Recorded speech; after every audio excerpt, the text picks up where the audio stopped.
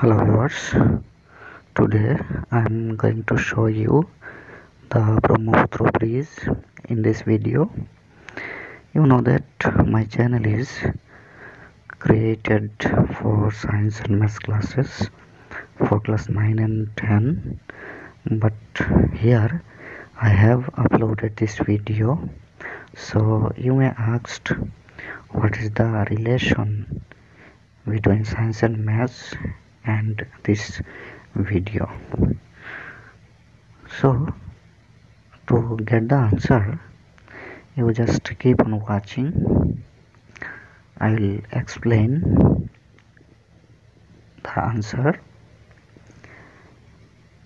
Here in this video actually uh, what I am doing what we are doing we are going to find the length of the bridge so how is it possible without without any scale? How is it possible? How can we find the length of the bridge?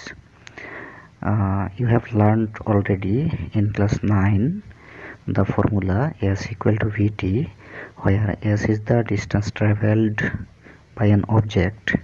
T is the time take, taken to travel.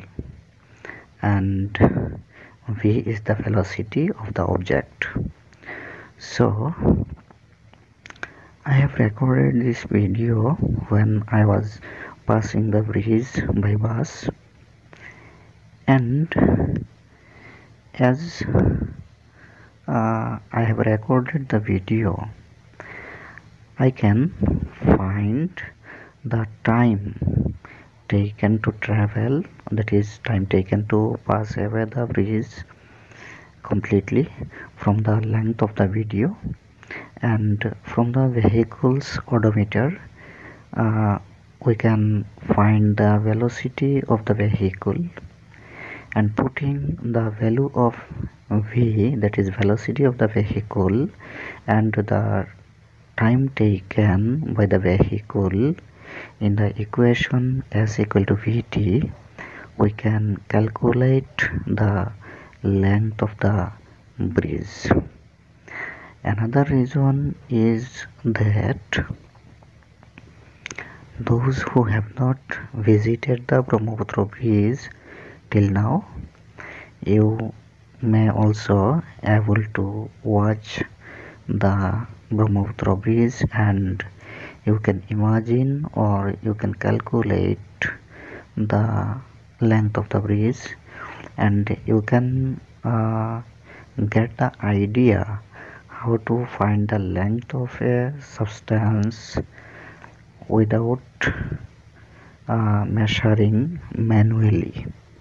So if you are uh, interested and if you are uh, if you get the benefit from this video you like the video and you may comment.